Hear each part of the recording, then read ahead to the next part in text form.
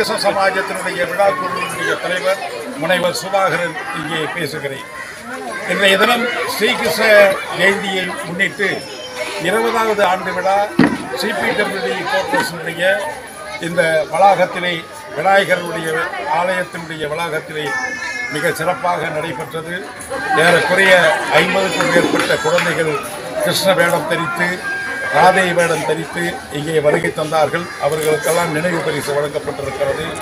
இதனுடைய சேர்மேன் திரு முரளிதரன் நம்பியார் அவர்களும் wise chairman திரு கமலஹாசன் அவர்களும் பொருளாளர் திரு மோகன்குமார் அவர்களும் இந்த சிபிடபிள்யூடி கார்பரேஷனுடைய நிர்வாகியும் எங்களுடைய ஸ்ரீகிருஷ்ண சமாஜத்தினுடைய சிபிடபிள்யூடி கோட்ரஸினுடைய அனைத்து நிர்வாகிகளும் அதற்கு திரு ரா ராஜேந்திரன் அவர்களும் திரு தாசன் அவர்களும் திரு சுஷீல் அவர்களும் திரு கரிகாலன் அவர்களும் மற்றும் ஏனைய மதியழகன் அவர்கள் திரு பாபுஜி அவர்கள் அதே நேரத்தில் அன்னதானம் வழங்கி இருக்கக்கூடிய திரு முரளி அவர்களும் கண்ணன் அவர்களும் அனைவரும் ஒருங்கிணைந்து மற்றும் ஏனைய நண்பர்கள் எல்லாம் ஒருங்கிணைந்து இந்த விழாவினை மிக சிறப்பாக இங்கே நடத்தி கொண்டிருக்கிறோம்.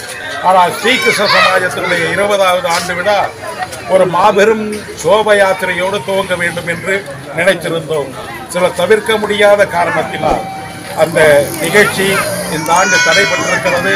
அடுத்த ஆண்டு வெற்றிகரமாக ஸ்ரீகிருஷ்ண ஜெயந்தியினுடைய விழாவை முன்னிட்டு மிகப்பெரிய ஒரு சோப யாத்திரையினை இங்கே நடத்துவோம்.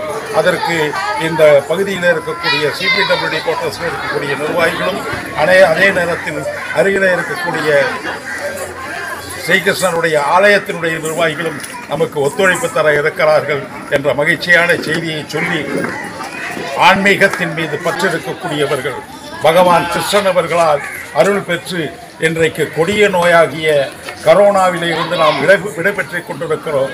அதற்காக அரசின் சார்பாக பல்வேறு அறிவிப்புகள் அறிவிக்கப்பட்டு அதே நேரத்தில் அவர்களால் பல்வேறு தடுப்புகள் செய்யப்பட்டு மத்திய அரசினுடைய மாண்புமிகு பாரத பிரதமர்களுடைய ஆணையின்படி தடுப்பூசிகள் போடப்பட்டு இன்றைக்கு எழுபத்தி ஐந்து எண்பது சதவிகிதம் நாம் வெற்றியடைந்திருக்கிறோம்.